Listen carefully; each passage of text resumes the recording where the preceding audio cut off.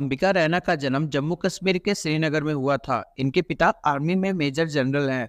इनके पिता की ट्रांसफरेबल जॉब होने की वजह से इन्होंने देश के अलग अलग राज्यों में रहकर अपनी स्कूली पढ़ाई पूरी की।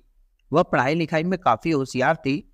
इनके माता पिता ने भी उनके हर निर्णय में उनका साथ दिया और सपोर्ट किया। वह कभी भी अपनी इच्छाएँ उन पर नहीं थोपती। अंबिका रैना ने गुजरात के अहमदाबाद में स्थित सी यूनिवर्सिटी से आर्किटेक्ट में ग्रेजुएशन किया। 2020 में ग्रेजुएशन पूरा होने से पहले ही उन्हें स्विट्जरलैंड के ज्यूरिक में स्थित एक कंपनी से इंटर्नशिप करने का मौका मिल गया था। यह उनके लिए बहुत बड़ा अवसर था। वहाँ की कुछ कंपनियों से ग्रेजुएशन के बाद जॉब का भी ऑफ़र था, लेकिन वहाँ रहते हुए इन्हें देश के लिए कुछ करने का ख्याल आया। अंबिका के लिए विदेश छोड़कर भारत आकर यूपीएससी परीक्षा की तैयारी करने का फैसला कठिन नहीं था।